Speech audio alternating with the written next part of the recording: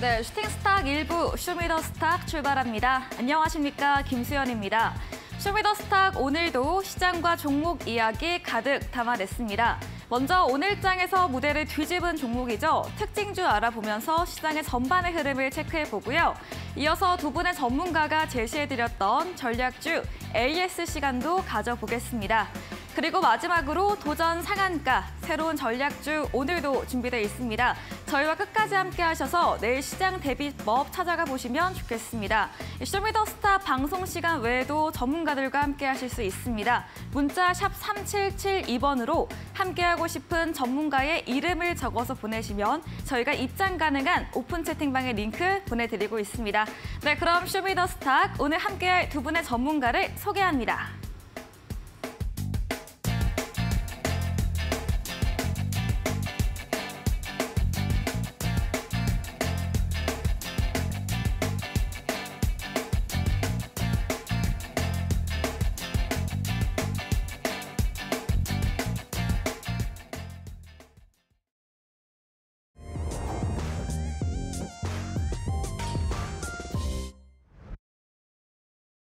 네, 목요일 마감 시황입니다. 지난주 미국 SVB 사태에 이어서 어젯밤 유럽 스위스 크레딧 은행까지 벌어지면서 금융 혼란 여파가 이어지고 있습니다. 다만 이번에도 스위스 중앙은행의 개입으로 유동성에 대한 우려가 해소되면서 오늘 시장은 상승과 하락 압박을 모두 받으며 위축된 모습인 혼조세로 거래 마무리 지었습니다. 오늘도 대형주는 대체로 쉬어갔습니다. 다만 반도체 관련주 오랜만에 오름세를 보였고요. 중소형주에서 개별주 상세가 이어졌습니다. 지수 보도록 하겠습니다. 네, 오늘 코스피 하루 만에 다시 하락으로 출발했습니다. 2,357선으로 꽤 크게 밀리며 출발했는데요. 오전 10시, 11시권에 상승으로 전환됐다가 소폭 밀리면서 어제 대비 0.08% 하락한 약보합권인 2,377.91포인트로 오늘 거래 끝을 냈습니다. 어, 매매 동향 확인해 보도록 하겠습니다. 오늘 양시장에서 개인만의 순매수를 보였습니다. 장 출발부터 개인과 외국인 기관 매수 매도 포지션 그대로 유지를 했는데요. 개인은 오늘 700억 원 넘게 담아냈고요. 외국인과 기관은 쌍그레 매도를 보였습니다. 다만 오늘도 기관 연기금 쪽에서는 9거래일째 순매수세를 이어오고 있습니다. 코스닥도 확인해 보겠습니다. 네, 코스닥은 거의 부합으로 출발했습니다. 다만 코스피와 마찬가지로 오전 10시, 11시경에 가장 크게 오르면서 상승권으로 전환됐습니다. 어제 대비해서 0.1% 상승한 781.98포인트로 780선 지키면서 거래 끝이 냈습니다. 수급 상황 확인해 보겠습니다. 네, 오늘 수급 상황 코스피와 마찬가지입니다. 개인이 홀로 사자세를 보였고요. 외국인 기관 보시는 것처럼 매도 우위를 보였습니다. 기관은 무려 17거래일째 매도세 보이고 있고요. 개인은 코스피보다 더 많은 물량을 담아내며 4,600억 원 사자세를 보였습니다. 네, 오늘 원달러 환율 참 오르락 내리락을 반복을 하고 있습니다. 그제부터 상승 하락 상승을 이어가고 있는데요. 이 시장 호재는 부재한 가운데 금융 리스크가 번지면서 오늘도 환율 상당 압력을 받았습니다. 어제 대비해서 9원 30전 또다시 크게 오르면서 1,313원으로 거래 끝을 냈습니다. 네, 이렇게 마감 시황 전해드렸습니다.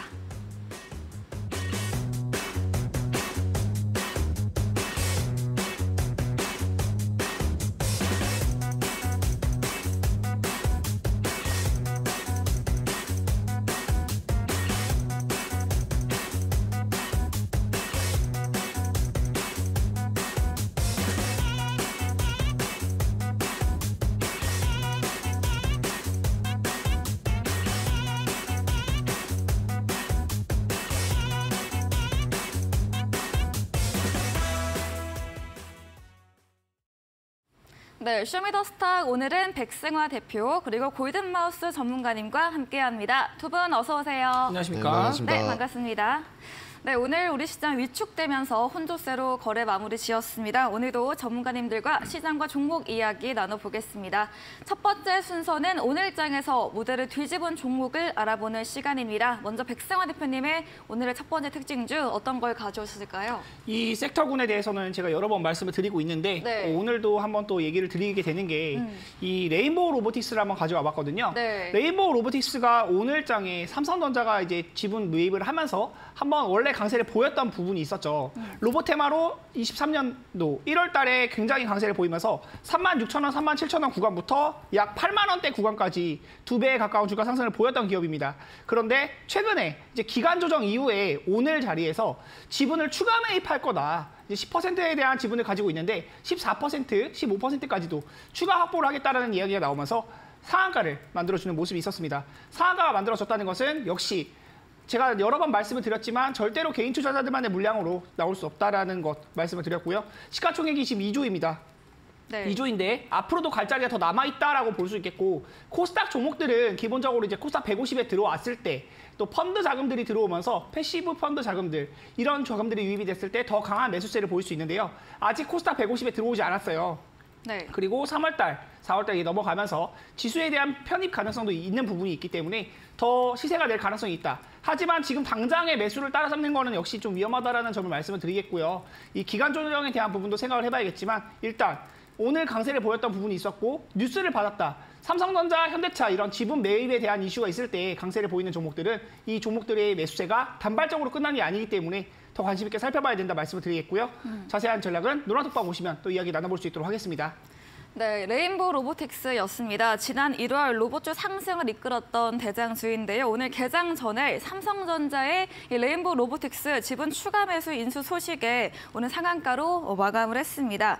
어, 이야기해주신 백승화 대표님에게 방송 이후에도 더 자세한 전략, 더 많은 정보를 듣고 싶으시면 문자 샵 3772번으로 백승화 대표 적어서 보내시면 저희가 입장 가능한 오픈 채팅방 링크 보내드리고 있고요. 화면 하단에 QR코드 보이시죠? 휴대폰 카메라 대시면 입장 가능합니다. 네, 이어서 골든마우스 전문가님의 오늘의 특징주도 들어보도록 하겠습니다. 네, 네. 오랜만에 나오셨습니다. 아, 오랜만인가요? 네, 그렇죠. 네. 아, 제가 이, 원래 화요일, 목요일로 나오는데 네, 또. 이제 이번 주 화요일 날은 조금 좀 사정이 있어서 못 어, 나오고 네. 이번 주만 나오는데 네. 제가 이제는 또 빼먹지 않고 네. 꼬박꼬박 오늘 그런 김에 더 알차고 좀 네. 좋은 정보 알려주고 아, 네. 가셨으면 좋겠습니다. 알겠습니다. 네. 네. 오늘 첫 번째로 제가 준비한 종목은 이제 국일 재지라는 종목입니다. 네. 자, 어떻게 보면 은 이제 우리 개인 투자자 여러분들께서 이 국일 재지를 좀 많이 아시는 분들도 계실 것 같아요. 근데 이제 국일 재지는 일단 결론부터 먼저 말씀을 드리면은 지금 정지가 되어 있는 상태인 종목입니다. 일단 차트 한번 같이 봐주시면 좋을 것 같은데 네. 제가 이거를 특징적으로 가지고 온 것 자체가 여러분들한테 조금 항상 제가 이 방송을 통해서 말씀드리는 부분이 첫 네. 번째 종목과 두 번째 종목은 어떻게 보면은 네. 어 상반되는 좀. 상반되는 네. 그쵸 상반되는 종목들을 제가 가지고 오게 됩니다. 네. 근데 이제 올라가는 종목도 좋지만요. 이 이렇게 정지가 왜 되었나 음. 이런 종목들의 어떠한 이유로 종, 어, 종목이 정지가 되었는지도 여러분들께서 알고 가시면 좋을 것 같아서 준비를 했고 네. 국일재지라고 이름만 들어봤을 땐 어? 재지? 음. 그러면은 어, 재지 회사인가? 재지 이쪽으로 사업을 하는 쪽인가? 라고 네. 생각을 하실 수도 있는데 음. 사실 국일재지가 어, 월봉으로 한번 보시면 자 이게 어, 어떻게 보면 정말 동전주에서 네. 8천 원까지도 올랐던 어, 주식이거든요.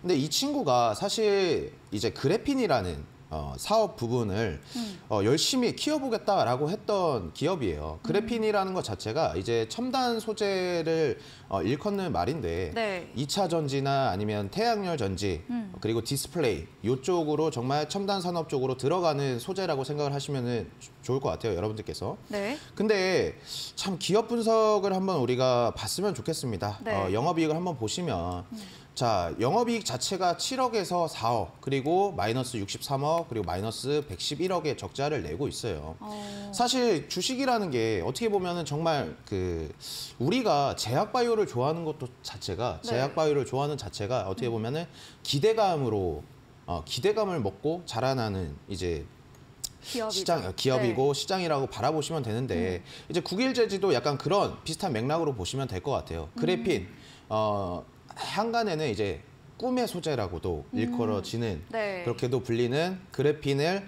이제 그래핀 부문 쪽을 어, 키워 보겠다. 그리고 우리 주주분들에게 좀 더 보여드리겠다 이렇게 말을 했던 국일 재지가 사실은 이제 영업이익이 받쳐주지 않으면 결국 이렇게 어, 기업이 정지가 되고요. 어, 무너지게 된다라는 것을 여러분들에게 보여드리고 싶었습니다. 네. 그리고 지금 같은 시장은 사실 어떻게 보면은 이제 SVB 이제 그 파산 사태 그리고 유럽의 또 CS 이 이쪽이 파산 우려가 부각이 되면서 시장 자체가 매우 힘들고 어, 변동성이 강한 장세입니다. 이런 시장 상황 속에서 여러분들은 더욱더 어, 기업의 영업이 이쪽을 좀 보시고 투자를 임하셨으면 좋겠, 어, 좋겠어서 제가 첫 번째 특징조로 국일재지를 가지고 나오게 됐습니다. 네, 거, 국일재지 거래 정지 상태의 종목으로 이런 종목을 주의해야 한다 이런 관점으로 말해주셨습니다. 그래핀 첨단 소재, 꿈의 소재를 일컬어지는 사업을 영위하는 기업입니다. 하지만 실적에 적자를 내고 있어서 이렇게 실적이 무너지면 주가도 내려앉을 수밖에 없다는 점 말해주셨습니다. 이야기해주신 골든마우스 전문가님과 방송 이후에도 자세한 이야기를 나누고 싶으시면 문자 샵 3772번으로 골든마우스 적어서 보내시면 저희가 입장 가능한 채팅방에 링크 보내드리고 있고요. 화면 하단에 QR코드 통해서도 입장 가능합니다. 네, 이어서 백승화 대표님의 두 번째 특징주 들어보도록 하겠습니다. 제가 최근에 굉장히 많이 말씀을 드리고 있는 쪽이 자동차 부품주 쪽 많이 네. 언급을 드리고 있는데요. 네. 자동차 부품주들이 지금 시장을 어느 정도 많이 끌고 가는 모습들이 있다. 음. 그리고 AI 뭐 이러면서 자율주행도 얘기를 많이 했었고 2차 전지 자, 결국 2차 전지가 이제 핵심 부품인 게 배터리에 대한 이야기인 거잖아요. 배터리를 만들고 나서 결국 그게 들어가는 것은 자동차다. 결국 자동차 차체라던가 뭐 기존의 부품들 뭐 볼트, 너트 이런 것도 있을 수 있고 타이어일 수도 있고 차체일 수도 있고 뭐 필터, 에어컨 이런 거일 수도 있고 모든 부품들에 결국 자동차가 들어가는 거다. 그러면 자동차에 대한 부분이 수혜를 받을 수 있다라고 말씀을 드렸는데 최근 구간에서 굉장히 강세를 보이고 있는 종목들이 많습니다. 네. 제가 최근에 한번 에코플라스틱 언급을 드렸었는데 이 종목의 대주주라고 볼 수 있는 종목이 있어요. 오늘 가져온 서진 오토모티브인데요. 서진 오토모티브 잠깐 차트를 보면서 말씀을 드려볼게요. 네. 오늘 장중에 상한가를 좀 터치를 해주는 모습이었고 상한가 터치 이후에 약간의 차익 실현 물량이 나오면서 20%대 고가 마감을 했는데 거래량을 봤을 때 최근에 이제 15% 20% 오를 때 이 거래량과 오늘 생긴 거래량이 또 느낌이 다릅니다. 굉장히 많이 다르고 이 거래량은 이전에 이 매물대를 완전히 소화하고 있는 그런 움직임들이 많이 나타나고 있어요. 굉장히 바닥 구간에서 올라오는 모습이기 때문에 이런 구간에서는 올라오기 시작하면은 다시 고가를 갱신할 수 있다라고 말씀을 드렸는데 제가 최근에 에코플라스틱 언급을 드릴 때도 이 구간에서 한번 대량 거래량이 생기고 나서 이후에 올라가기 시작하는 흐름이 나올 수 있다. 지금 다시 올라가는 흐름 나타나고 있죠. 지수가 최근에 흔들림에도 불구하고 이렇게 강한 종목들로 올라간다. 다시 서진 오토모티브 역시 지금 보면은 실적이 받쳐주는 종목들 이런 종목들은 실적이 받쳐주기 때문에 더 강한 움직임을 많이 보이는데요. 재무제표 잠깐 보면서 말씀을 드리면요. 네. 연결 재무제표로 봤을 때는 이제 기본적으로 조단위, 매출액이 조단위로 나오는 기업이고 이 별도로 봤을 때도 네. 기본적으로 영업이 흑자를 기록을 하면서 천억대. 그런데 지금 시가총액이 800억밖에 안 돼요. 매출액이 천억인데 시가총액이 800억? 저평가라고 볼 수 있겠죠. 그러면서 흑자를 내는 기업이고 이 차체에 대한 부분. 현대차, 기아에 기본적으로 납품을 하고 있는데 오늘 나온 뉴스가 있었습니다. 또 글로벌 완성차 업체 이 기업을 이제 현대차, 기아라고 딱 명시를 하진 않았는데 아마 현대차나 기아 쪽일 가능성이 높겠죠. 기존에 납품 이력이 있었으니까 이쪽으로 납품을 하면서 이 전기차 부품 공급 논의의 강세를 보인다. 전기차 부품, 2차 전지 이쪽으로 엮이면서 다시 한번 갈 수 있는 움직임을 보이고 있고 서진 오토모티브 장중에 상한가를 터치했고 20%대 강세 앞으로 더 강세를 보일 수 있는 부분이 있으니까 관심 있게 살펴보시면 좋을 것 같고요. 자세한 전략은 노란톡방 오시면 또 이야기 나눠볼 수 있도록 하겠습니다. 네, 전문가님께서 2차 전지 테마를 이어서 이 자동차 부품 테마로 옮겨올 수 있다는 부분 계속해서 말해주고 계신데요. 서진 오토모티브 장중에 상한가 터치를 했고요. 20% 상승 마감을 했습니다. 어, 완성차 업체와 전기차 부품 공급 논의 중이라는 소식이 들리면서 오늘 이런 주가 강세를 보였는데요. 이에 대해서 빠르면 4, 5월경에 발표 예정이라고 하니까요. 이 점 체크해 보시고요. 살적 실적도 우수한 점 확인해 봤습니다. 이야기해 주신 백승화 대표님에게 방송 이후에도 자세한 전략을 듣고 싶으시면 문자 샵 3772번으로 백승화 대표 적어서 보내시면 저희가 입장 가능한 톡방의 링크 보내드리고 있습니다. 네, 마지막으로 골든마우스 전문가님의 특징주 들어보겠습니다. 네, 제가 이번에는 또 상반되게 네. 상반되게 또 좋은 종목을 갖고 왔는데 네. 어떻게 보면은 이제 어, 앵커님께서 좀 많이 들어보셨을 방송을 하면서 네. 이제 어, 많이 들어보셨을 종목으로 좀 준비를 했거든요. 네. 좀 감이 오시나요 혹시? 어, 너무 근데 많은 정보 에코프로는 아니죠? 에코프로는 아닙니다. 아 그래요? 한번 슬쩍 볼까요? 아, 슬쩍 제가 말씀을 네. 드리면 이제 케미, KG 케미칼이라는 아, 종목을 제가 준비를. 했어요. 어, 많이 들어보셨죠? 그쵸, 그럴 수밖에 없죠. 그쵸. 네. 그러니까 저 대신 이제 그 화요일 날 네. 또 출연하셨던 네. 그 이주연 대표님께서도 네. KG 케미칼을 음. 가지고 나오셨던 것 네. 같아요. 근데 역시 역시 보는 눈이 있다. 장난이 아니시다. 아, 네. 이렇게 말씀을 드리고 싶은데 네. 어, 일단 오늘 두 번째로 KG 케미칼을 가지고 온 것 자체가 자 오늘 시장 사실 어떻게 보면 시장이 어, 여러분들 느끼시기에 되게 어 아유 뭐 상승장도 아닌 것 같고 네. 어아막 이렇다 막 정말 월요일처럼 막 그렇게 막 쫙 빠지는 그 네. 화요일처럼 막 그냥 쫙 빠지는 그런 시장도 아니고 되게 밋밋한 시장이었다라고 볼 수가 있을 것 같아요. 근데 맞아요. 사실 어떻게 보면은 제가 첫 번째에서도 말씀을 드렸지만 이 SVB 파산 사태가 일어나고 그다음에 이제 유럽의 이 CS 파산 사태가 부각이 되면서 지금 시장 자체가 어떻게 보면 이목이 집중되는 것이 다음 주에 있을 이제 FOMC 이 요쪽에 상당히 정말 주목을 많이 하고 있습니다. 어, 사실 투자를 하고 있는 사람들이라고 하면 다음 주에 있을 그 일정에 대해서 너무나도 지금 이목이 집중되어 있고 전 세계가 바라보고 있다라고 볼 수가 있- 있거든요. 네. 그래서 그 일정이 일어나기 전까지는 시장이 시장이 이렇게 조금 어 어떠한. 방향성을 못 네. 잡고 움직일 가능성이 좀 크다라고 생각을 해요. 근데 우리 또 백승화 대표님께서도 말씀을 해주셨지만 결국 지금 같은 시장에서 가는 것은 실적이다. 그리고 이 KG 케미칼 자체가 참 어, 어떻게 보면은 저희가 KG 모빌리언스 같은 경우에도 수익 실현을 했었는데 이 네. 같은 그룹이죠. KG 그룹. 차, 그 앵커님 혹시 네. 그 재벌집 막내 아들 보셨나요? 네, 재벌집 막- 막내 아들 보셨나요? 네. 참 저는 재벌집 막내 아들 보면 하, 진짜 KG 그룹 같습니다. 아 그래요? 아 정말 네. 이 아, 뭐랄까 좀 보면서 음. 어, 제가 이 주식 투자를 해서 그런지 모르겠지만 네. 더욱더 그 여- 제가 드라마를 사실 잘 안 보는데 네. 재벌집 막내들은 너무나도 이게 몰입도가 강하더라고요. 오, 네. 와 근데 이제 그 재벌집 막내 아들을 보시는 분들 시청자분들은 대부분 이제 그 그거를 S사에 본따서 어. 좀 어, 이제 모티브를 거- 네. 했다 했는데 저는 아 KG 그룹 같다. 아. 와 진짜 네. 진짜 막 심장이 떨리더라고요. 어, 그래서 그렇군요.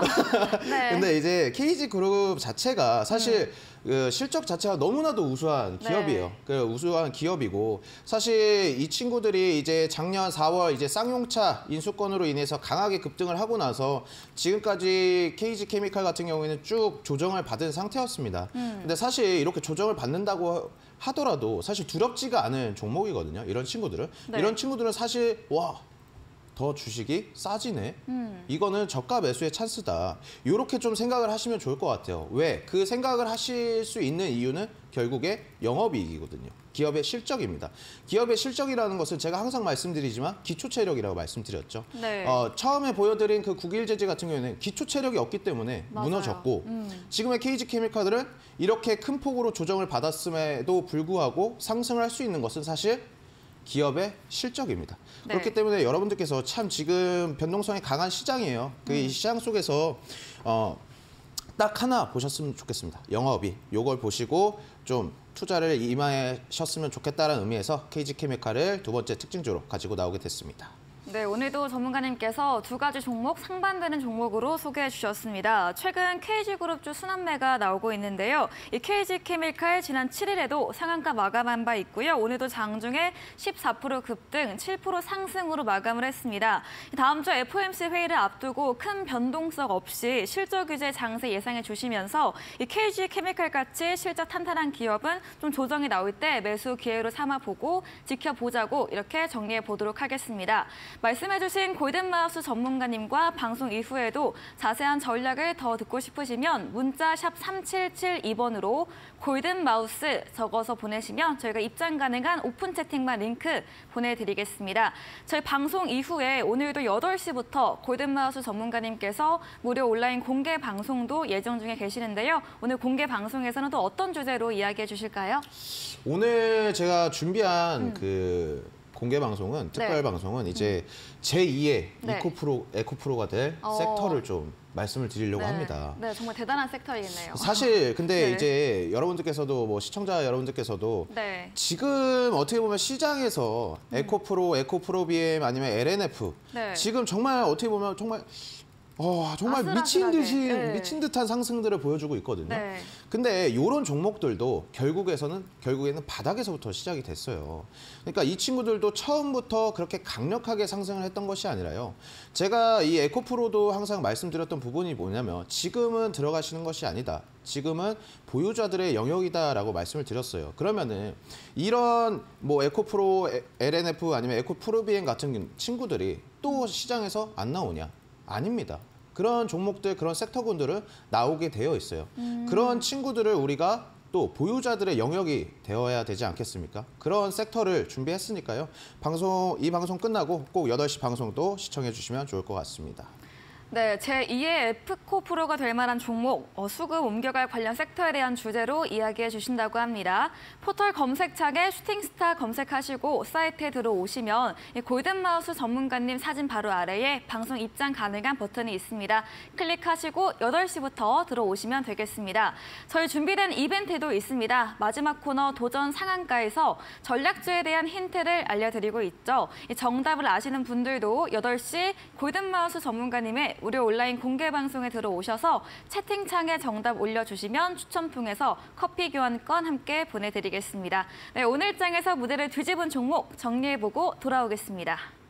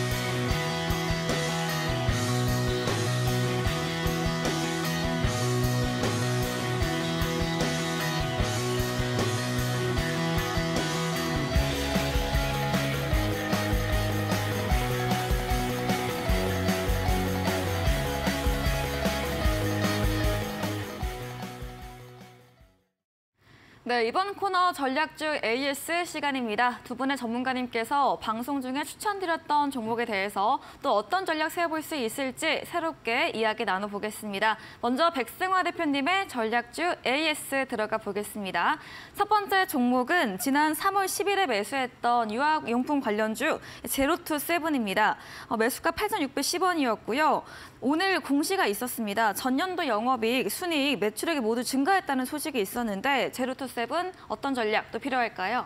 일단 제로투 세븐의 경우는 네. 어, 사실 추천한 날짜가 3월 10일이 아니면 3월 8일이 맞을 거예요. 아, 네, 근데 매수한 8일이 맞, 날. 예, 네. 음. 근데 이제 보고 말씀을 드리는 내용들이 여러분들 지금 보시면 지수가 밀릴 때 종목들이 밀리는 거는 어쩔 수 없는 부분이 있어요. 제가 추천드렸던 종목들도 다소 밀리는 부분들도 있지만 네. 그래도 올라갈 만한 실적을 가지고 있고 저는 실적이 안 좋은 종목들은 추천드리지 않는다. 음. 골든마우스 전문가님도 아까 이제 국일제지도 같이 말씀해서 비교로 네. 말씀을 해주셨는데 음. 지금 3월이잖아요. 3월은 이제 상장 폐지가 나오는 시즌이기도 하고 감사 보고서가 이제 의견 거절되면은 거래 정지되고 정리 매매 수순으로 가는 경우도 있거든요.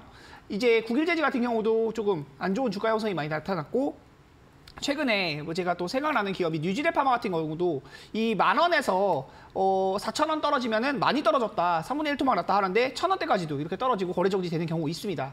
이 실적이 안 좋은 종목들은 바이오 종목들에도 그렇고 뭐 실적이 안 좋은 종목들 기업의 모멘텀이 없고 좀 기초 체력이 단단하지 않은 종목들은 이런 경우가 굉장히 많은데 제로투 세븐 같은 경우는 제가 이제 추천드릴 때 포인트로 저출산 관련주로 수혜를 받을 수 있다라는 부분을 보고 말씀을 드렸고 테마에 대한 부분이 좀 장기적인 부분이 있어요. 단기적으로 오늘 오르지 않으면 안 가는 게 아니고 정부에서 이제 출산율 관련해서 이슈는 계속 나오잖아요. 네. 다들 아시다시피 요즘에 사람들이 결혼을 해도 네. 아이를 안 낳아요. 네. 아이를 낳아서 기르기가 굉장히 어렵다 보니까 음. 출산율 0.8명에서 0.7명대로 내려오고 네. 정부에서도 이걸 해결하기 위해서 굉장히 또 노력을 많이 하는데 그런 수혜를 받을 때 바닥을 찍고 올라가는 종목들 그리고 실적에 대한 부분도 이렇게 재무를 체크해 봤을 때 기본적으로 일단 천억에서 이천억 정도 꾸준히 영업이익을 낼 수, 매출액을 내고 영업이익을 낼 수 있는 회사들 이런 회사들이 아니면 저는 이제 추천을 드리지 않는다. 네. 지금 구간에서는 지수 하락에 조금 휩쓸린 경험은 있지만 아직은 바닥 구간이라고 보여지는 부분이 많이 있기 때문에 그리고 추세에 대한 부분 상승 추세가 남아 있기 때문에 네. 지금 구간에서는 뭐 충분히 매수 전략 다시 볼 수 있을 것 같고요. 음. 매수가보다 약 5% 정도 밀려 있긴 한데 더 올라갈 영역 있으니까 관심 있게 살펴보시면 좋을 것 같습니다. 네, 제로투세븐 다시 한번 실적의 중요성 짚어주시면서 저출산 관련주로 이 장기적으로 갈 테마라고 다시 한번 말해주셨습니다. 지금 주가는 지수 하락의 영향을 받았으나 앞으로 상승 추세 남아있기에 매수 유효 구간으로 말해주시면서 보유로 의견 남겨주셨네요. 다음 종목은 2월 1일에 매수했던 화장품 관련주 코리아나입니다. 어, 20일 날부터 이제 실내에서 완전 마스크 해제 소식이 있던데 어떤 전략도 들어볼 수 있을까요? 근데 이제 말씀드렸지만 제가 지금 지수 밀릴 때 음. 네. 너무 밀린 종목들 있잖아요. 네. 또 원래 어느 정도 3% 5%이 정도 밀리는 건 괜찮아요. 음. 네. 근데 코리아나 같은 경우는 좀 많이 밀렸고 당장의 매수에 대한 포인트가 없다. 음. 일단 제가 추천드릴 때의 포인트는 거래량 터지면서 차트 흐름을 돌리는 요 구간에서 추천을 드렸었는데 이 차트를 잠깐 보면서 말씀을 드려볼게요. 네. 일단 여기 이 구간에서 추천을 드렸었는데 2월 중순 이후로 계속해서 지수가 밀리면서 우리 지수가 일본 기준으로 계속해서 밀렸죠.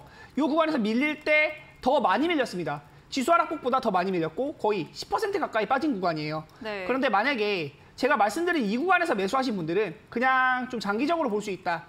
음. 이게 단타 자금이고 막 큰 자금이 들어간 게 아니라면 장기적으로 볼 때는 다시 올라올 만한 기업이긴 하거든요. 실적이 있고 화장품 테마 자체가 완전히 주는 테마가 아니기 때문에 장기적으로는 볼만하지만 지금 당장 매수하시는 거는 사실 권유드리기 좀 어려울 것 같아요.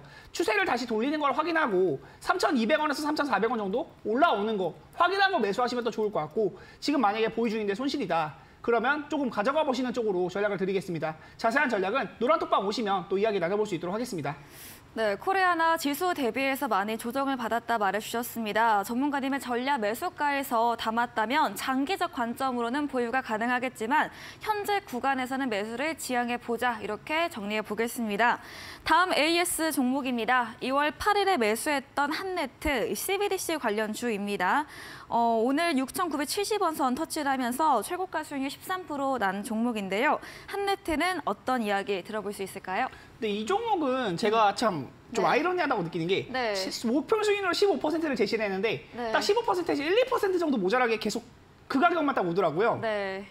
7,000원을 제가 제시를 했었는데 오늘도 6,970원까지 왔거든요. 네. 그런데 이게 노란톡방 오신 분들은 아마 아실 거예요. 오늘 지수가 장 초반에 굉장히 흔들렸었잖아요. 네. 오자마자 이제 9시 1분, 2분 이 시간에 그냥 KL의 한네트 이두 종목 그냥 방송 추천주 가지고 계신 분들은 수익 실현 하셔라. 내려오면 다시 사면 된다라고 말씀을 드렸어요. 한네트도 오늘 매도에 대한 전략을 드렸었는데 만약에 이제 노란톡방 오셔가지고 전략 받아보신 분들은 그래도 수익을 실현하실 수 있을 거다. 6,100원대에서 매수를 드렸는데 15%에 대한 목표 수익률은 조금 미달됐습니다. 1, 2% 정도 미달이 되었지만 네. 지금 내려오는 구간에서 다시 한번 전략을 볼만하고요. CBDC에 대한 이슈가 이제 나오기 시작을 했어요. CBDC가 이제 중앙 디지털 화폐인데 이 중앙 디지털 화폐 앞으로 이제 현금을 거의 사용하지 않죠. 지금도 카드를 많이 사용하는데 그 부분 원화에 대한 부분도 이제 다 지폐를 사용하지 않고 그 디지털 칩으로 아니면 이제 전자상 거래로 이렇게 이동이 된다. 그런 이슈를 받을 때 키오스크 관련주 그리고 이런 CBDC 관련주 이수율을 받으면서 한네트가 굉장히 많이 오르는 부분이 있다. 바닥 구간에서 거래량 다지면서 이렇게 계속해서 매집 움직임들이 나타나고 있는데 지금 다시 한번 매수를 해볼 만한 영역이고요. 올라오면은 일단 기본적으로 10% 15% 올라왔을 때는 차익 실현을 좀 해두시면서 보는 게 좋을 것 같다. 노란톡방 오시면 그런 전략들도 받아보실 수 있으니까 참고해 보시면 좋을 것 같습니다. 네, 한네트 오늘 장중 고가 19% 터치하면서 6,970원 선으로 끝이 어, 터치를 했습니다. 다시 한번 내려오는 구간에서 접근 가능하다 말해 주시면서 CBDC 이 중앙 디지털 화폐 다시 재료가 살아나면서 모멘텀 받을 수 있게 매수 신규 접근 가능으로 이야기해 주셨고요. 10에서 15% 상승 시 수익 실현 해보는 것으로 정리해 보겠습니다. 다음 AS 종목은 2월 24일에 매수했던 MS 오토텍입니다. 아까 썰, 그 특징주에서 말해 주셨는데 이런 2차 전지에서 자동차 부품으로 테마가 옮겨올 것이다. 이런 이야기와 함께 추천 주신 종목인데요. 네. 또 어떤 전략 들어볼 수 있을까요? 근데 제가 생각했던 것보다 사실 이 종목은 추천드리고 나서 너무 빨리 올라갔었어요. 네. 제가 3월 달에 바로 올라가면서 목표 수익률 10% 이상 초과 달성을 하고 이 종목은 이제 19%까지 수익률 달성을 했는데 기본적으로 이 종목은 지금도 지금도 저평가 영역입니다. 기본적으로 시가총액이 2,300억인데 보면은 네. 시청 그 매출액에 대한 부분이 조단이에요, 조단이. 조단이 매출액을 내고 영업이익을 600억, 500억, 900억 이렇게 내는 회사가 지금 시가총액이 2,300억? 말도 안 되죠. 기본적으로 지금보다 두 배는 올라야 됩니다. 그리고 두 배 올랐던 가격을 이미 찍어본 적이 있어요. 지금 이 영역에서 거래량 없이 굉장히 많이 떨어졌었는데 지수 밀릴 때 그냥 밀렸다라고 보시면 좋을 것 같고 네. 지금은 지수가 반등했다가 흔들리는 영역에서 그래도 바닥을 다지고 올라가는 모습들이 있기 때문에 자동차 부품주는 꼭 포트폴리오에 담아두시면 좋을 것 같다라는 점 말씀드리고요. 지금도 저평가 영역이니까 MS 오토텍은 꼭 음봉 구간에서는 매수 전략을 한번 고려해 보시는 것을 말씀을 드립니다. 거래량이 많이 없는 종목이기 때문에 한 번에 많이 잡는 거는 좀 권유를 드리지 않고요. 조금씩 조금씩 나눠 담으시면 여러분들의 계좌에 충분히 이제 10% 20% 이상 수익을 줄 만한 종목이니까 자세한 전략은 또 노란 톡방 오시면 이야기 나눠볼 수 있도록 하겠습니다. 네, MS 오토텍, 현대차, 기아 주 매출처로 두는 자동차 부품주입니다. 어, 20% 가까이 수익 달성한 종목인데요. 현재도 수익 구간에 위치하고 있죠. 이 주가 실적 대비 여전히 저평가 구간인 만큼 응봉시 매수 의견으로 주셨습니다. 네, 이번에는 골든마우스 전문가님의 전략주 AS도 들어가 보겠습니다. 첫 번째 종목은 3월 2일에 매수했던 철강 관련주 경남스틸인데요. 어, 최근 이런 철강 경기 민감주가 좀 힘을 내지 못하고 있습니다. 네. 어떤 이야기 들어볼 수 있을까요? 그 경남 스틸뿐만 아니라 네. 다른 이제 철강주들 제가 그때도 말씀을 드렸지만 네. 사실 이제 reopening에 대한 어떻게 보면 투자자들의 기대감. 이 네. 너무나도 컸던 것 같아요. 네. 근데 이제 기대감이 큰 만큼 실망감도 맞아요. 아, 크지 않았나 이렇게 생각이 드는데 네. 제가 좀 여러분들한테 좀 말씀을 드리고 싶었던 건 뭐냐면은 음. 어, 기대감만으로 올라갈 제가 그런 뭐 모멘텀이나 이런 것들을 드리지를 않았어요 사실 네. 실제로 일어날 일들을 맞아요. 음. 그거를 준비하고 종목을 드렸던 거거든요 근데 이제 경남스테이 같은 경우에는 어떻게 보면은 좀 어, 앞에 뭐 보이시겠지만 이제 제가 목표 수익률 10%를 잡아놓고 네. 이제 어, 지난주에 수익- 그쵸. 지난주에 네. 수익 실현했어요 근데 참 이게 운이 좋았다라고 정말 아니 아니 그때도 이게 그렇게 하셨잖아요. 야. 어떻게 이렇게 다 아셨냐. 아. 그러니까 운이 좋았을 뿐이죠. 라고 아, 하셨거든요. 아 근데 그러니까 저 제가 이 경남스티 같은 경우에 정말 정말 운이 좋았다라고 말하고 싶은 게 뭐냐면 사실 네. 금요일 장 같은 경우에 음. 시장이 너무 안 좋았어요. 네. 그러니까 시장 같은 경우가 우리가 이제 코스피 차트를 한번 보시면 음. 자 금요일 날 같은 경우에 이날이 금요일입니다. 이날이 금요일인데 이제 개파락으로 시작을 하게 됐어요. 코스피 같은 경우에는 마이너스 1.21% 출발을 하면서 음. 목요일 같은 경우에는 또 선물 옵션 동시만기일도 하면서 시장의 변동성도 컸고 네. 이제 금요일 날 또 이제 개파락 출발을 하면서 시장 자체가 하락하는 종목이 한 2천 종목이 넘어갔었고 음. 상승하는 종목들은 상당히 어, 적었던 부분인데 경남 스틸 같은 경우에는 갑작스럽게 어, 정말 갑작스럽게 이제 그 주가가 튀어 올랐던 네. 어, 종목이라고 볼 수가 있을 것 같아요. 그래서 사실 어떻게 보면 제가 표현한 게 운이 좋았다라고도 표현을 하지만 그 운 속 안에는 그 이 실적 그리고 재료 바닥이라는 요 삼박자가 어 쓰여져 있었던 것 같습니다, 여러분들. 네. 결국에 제가 말씀드렸지만 장대 양봉은 바닥에서 시작된다고 말씀을 드렸어요. 음. 이 경남스틸 같은 경우에는 그때도 이제 기업 분석에서 제가 영업이익을 보여드리면서 좋다고. 어, 영업이익이 네. 우상향한다. 네. 우상향 좋은데 음. 이게 주가가 지금 어, 50% 60% 빠졌다 고점 대비해서 음. 근데 뭐가 무섭냐?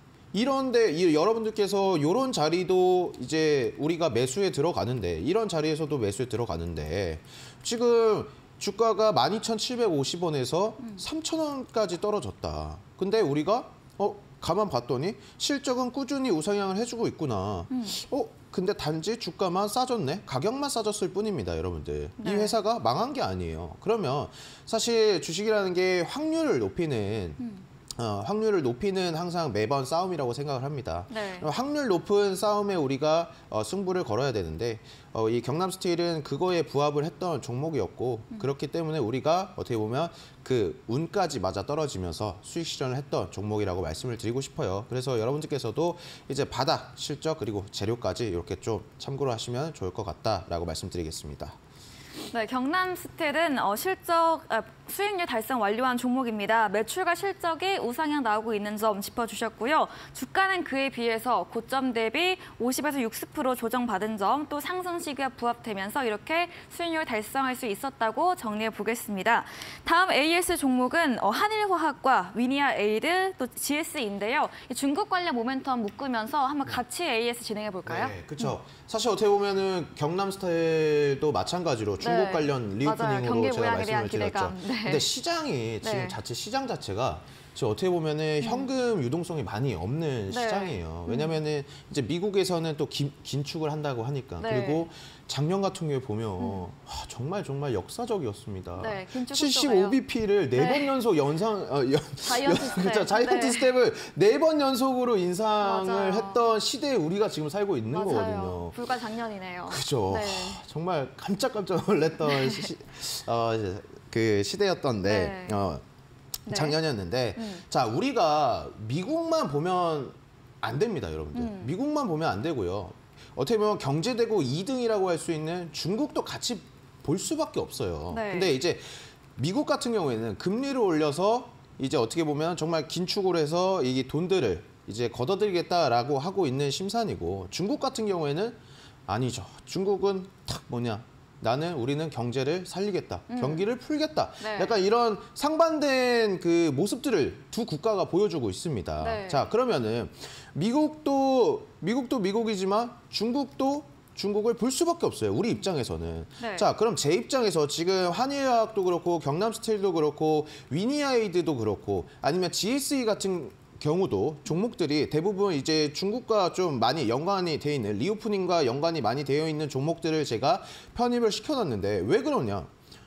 이게 지금 부각을 받지 않으니까 네. 싸니까 음, 왜 주식을 제값 주고 어, 매수하기 싫으니까 사실 어, 가치가 가치가 변하지 않고 어, 단지 가격이 싸졌을 때는 매수를 해야 됩니다. 근데 가치가 변하지 않았는데 그냥 값이 똑같으면 저, 저는 별로 좀 매수를 하고 싶지는 않아요. 네. 왜냐하면 쌀 싸면 쌀수록 더욱더 큰 이익을 또 큰 수익을 얻을 수가 있기 때문에 근데 마차 이 되게 이 종목들 같은 경우에 되게 비슷하 비슷합니다 비슷한 맥락이고요 여러분들께서 좀 시- 넉넉하게 좀 매수를 하셔도 되는 구간들이 많이 나오고 있어요. 제가 어떻게 보면 손절가도 잡아드리고 아니면 목표 수익률 그리고 어, 그 가격 전략들은 다 제가 노란톡방에서 말씀을 드리는데 뭐 한일화학도 그렇고요. 아니면 위니아이드도 그렇고 GSE 같은 경우에도 어, 충분히 우리가 조금씩 모아가는 전략을 통해서 수익을 내볼 수가 있는 종목들이기 때문에 어, 지금 당장 우리 종목들 어, 이 골든마우스 종목들이 부각을 받지 못한다고 해가지고 아휴 이거 진짜 가긴 가는 거야. 네. 아유 언제 가? 음, 근데 경남스틸 갔죠. 네, 그렇죠. 운 좋게 갔죠. 네.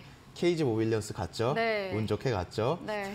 네, 갑니다, 여러분들. 네. 결국 결국 중요한 건 실적 바닥 재료예요. 음. 이 삼박자가 맞아 떨어지면 갈 수밖에 없습니다. 제가 말씀드렸죠. 에코프로, 에코프로비엠, LNF 요 종목들도 정말 불과 몇 년 전 불과 몇 년 전만 하더라도 시장에서 부각을 잘 받지는 않았어요. 이렇게 크게 모든 사람들이 집중하지 않았던 어, 종목이었습니다. 그런데 결국 이런 종목들, 좋은 종목들을 잘 담아가고 모아가고 했던 그 투자자 분들께서 오늘날에 어떻게 보면 주인공이 되셨다라고 말씀을 드리고 싶거든요. 그렇기 때문에 이 친구들 어, 한일 화학도 그렇고 위니 아이드 차트도 한번 보여드리면요. 네. 위니아이드도 그렇고 여러분들께서 무난하게 좀 담아가실 수 있는 구간들이 많아요. 그래서 너무 급하게 어, 매수를 하실 필요 없고 천천히 보시면서 또 궁금하신 점들이 있으면은 노란 톡방에서 아 요 친구들 언제쯤 요 구간에서 매수를 해도 되나요? 이런 네. 세밀한 전략들은 제가 노란톡방에서 말씀을 드릴 테니까 어, 노란톡방에도 많이 참가를 해주시면 좋을 것 같습니다. GSE도 보게, 보게 된다라고 하면은 아유 금진님 네. 겨울철 다 금진님. 끝났는데 네. 아 겨울철이 다 끝났는데 이거 이거 그냥 하락하는 거 아닙니까? 라고 하실 수도 있는데 음. 네. 여러분들 결국 이 천연가스 이 원자재 같은 경우에도요 중국 지금 PMI 지수가 어 11년 만에 최고치로 그 지표를 찍었습니다. 이 PMI 지수가요. 그렇다는 건 그리고 오펙에서도 말을 하고 있는 게 지금 음. 중국의 올해 석유 수요 전망이 늘어날 것이다. 이 천연가스도 가치금 늘어날 것으로 전망을 하고 있거든요. 네. 그러니까 여러분께서 이런 종목들 보면은 아, 진짜 안 갈 것 같은데 안 갈 것. 근데 갔습니다, 여러분들. 네. 가요. 어, 결국 바닥에서 시작되는 거기 때문에 여러분께서 차분히 좀 모아가시는 전략을 사용하셔라 이렇게 말씀을 드리고 싶습니다. 네, 이렇게 한일화학, 위니아 에이드, GSE 관련 세 가지 종목을 한 번에 AS해 봤습니다. 어, 중국 관련 reopening 종목으로 시장 관심이 다소 떨어진 시, 소외된 시기에 저가 매수 관점에서 추천해 주신 종목인데요. 전문가님께서 계속해서 좀 얘기를 가시고 계시죠. 이 실적이 탄탄하되 저점 매수 가는 종목, 여기에 재료 나올 시 시세 분출된 종목으로 추천 주신 만큼 조금 더 보유하고 계시면 상승 여력이 있다고 이렇게 정리해 보도록 하겠습니다. 전문가님의 전략주 자세한 매수, 매도 타이밍 더 알고 싶으시면 문자 샵 3772번으로 골든 마우스 적어서 보내시면 저희가 입장 가능한 톡방 링크 보내드리니까요. 들어오셔서 자세한 전략들 얻어가 보시기 바랍니다. 이 다음 코너 도전 상한가에서 전략주에 대한 힌트를 알려드리고 있습니다. 힌트 듣고 정답 아시는 분들도 8시 무료 온라인 공개 방송에 들어오셔서 채팅창에 정답 올려주시면 커피 쿠폰 함께 보내드리겠습니다. 이 마지막 코너 도전 상한가로 돌아오겠습니다.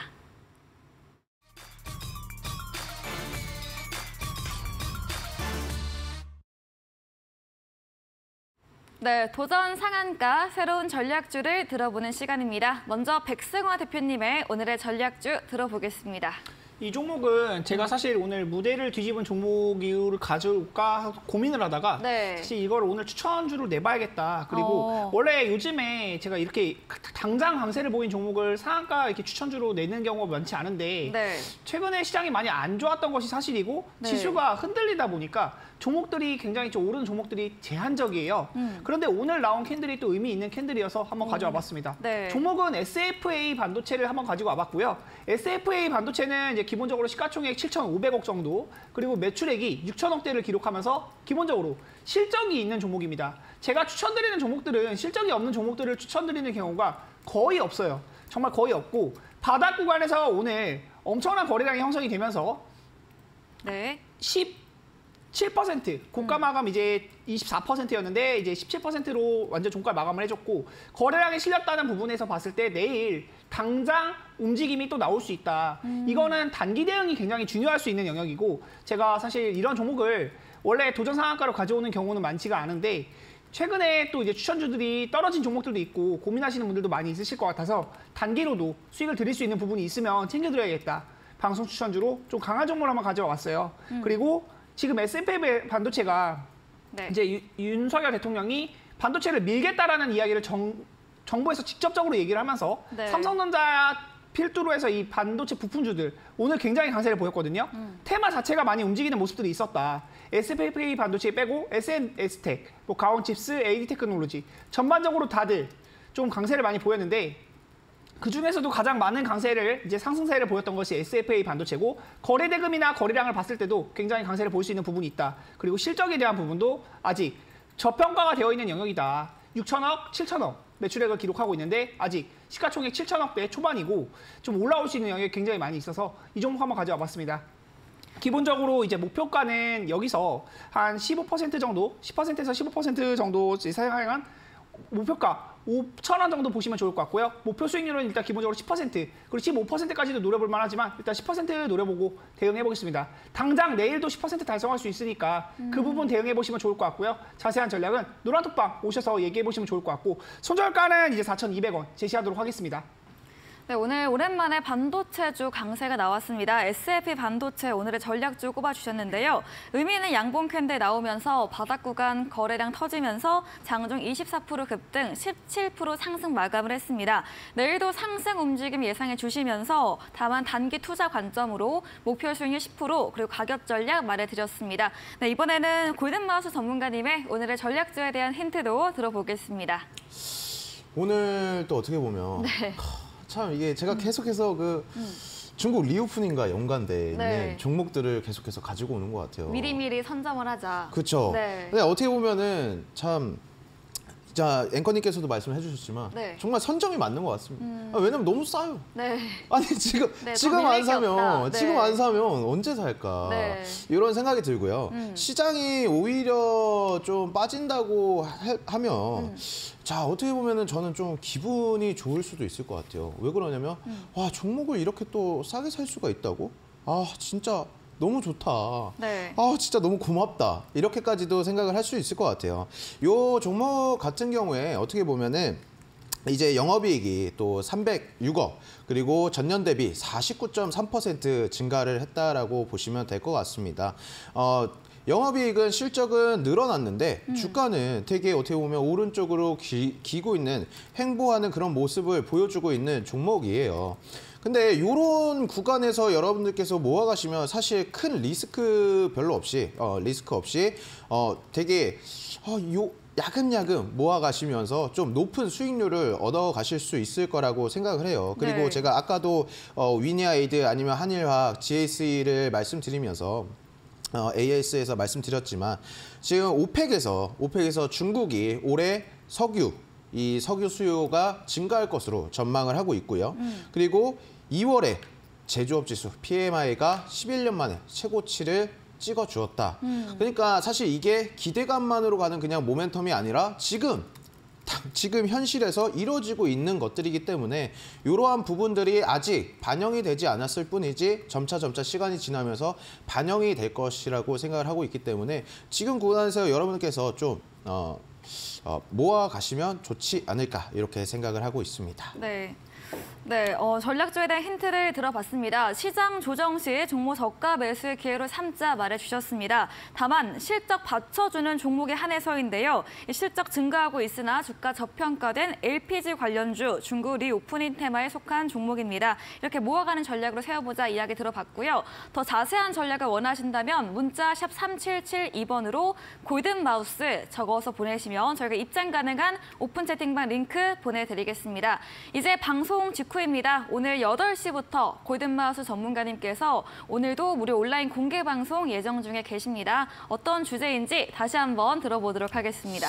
아, 일단 그 전에 제가 네. 목표 수익률을 말씀을 안 드렸던 것 같아요. 아, 그런가요? 네. 목표 수익률은 10%입니다, 여러분들. 어, 10%. 네. 목표 수익률 10%로 네. 잡아드렸고, 어, 요 무방 주제 같은 음. 경우에 정말 하, 야 이렇게 에코프로, 에코프로비엠, 네. LNF 2차 전지처럼 네. 갈수 있는 어 이렇게 대시세가 나올 수 있는 섹터군이 있다고? 저도 라고. 궁금하네요. 그죠. 네. 그 앵커님도 네, 아, 아, 또 다음에 또 방송이 있으시군요. 네, 그쵸. 아, 아쉽습니다. 네, 전 아쉽네요. 저도 못 제가 들어가지고. 제가 네. 또 이제 메모장으로 이따가 아, 좋습니다. 아, 네. 네. 자, 근데 요런 종목들이 있을, 있을까라고 생각을 하시는 분들도 많으실 것 음. 같아요. 근데 저는 있다라고 어, 당당하게 말씀을 드릴 수가 있을 것 같고요. 어, 지금 요 방송 끝나고 바로 이제 또 8시부터 특별 방송 하는데 그 시간에 여러분들께서 절대 놓치지 마시고 도대체 어떤 섹터고 어? 어떠한 어, 종목일까 또 궁금해 많이 하실 것 같습니다. 네. 그 참 제가 이런 말씀을 드리고 싶어요. 그 시장은 시장은 항상 힘듭니다.